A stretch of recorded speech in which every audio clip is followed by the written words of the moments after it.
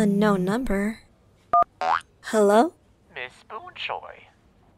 It has been quite a while. Wait a minute. That's Sass. Is this Mr. X? How did you get this num? Never mind. Dumb question. Oh, Mr. X, hi. Mars? Sup, Anne? What's up? Boonchoy, Marcy, what's going on? Slash? You too? Sup? What's up? Okay, I got all three of you now. Miss Boonchoy, Miss Waybright, Miss Wu. One reason I'm calling is because I received a distress signal from apparently another dimension, calling for you three. What? The distress call comes from...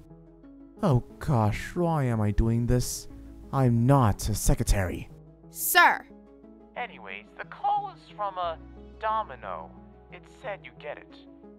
From your cat? I thought she passed away. Thanks for reminding me. Sasha! Oh my gosh, Anne! I'm so sorry! But Domino could talk. You understood Domino? Dang, that biologist degree is kinda OP. Herpetologist. Herbologist.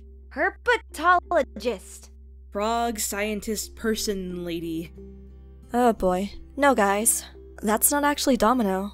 Herpetologist. I'm stuck working with children.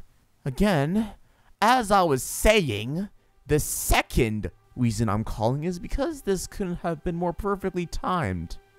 Why don't you three come to this location for a little talk? Oh, could it be? Could it finally be? Sash, you coming? Another dimension, you say? You better not be toying with us, man. Anne? I. I'll see you there. Good. I have a very interesting proposal for all of you.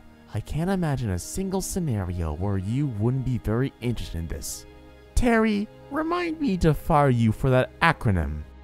No!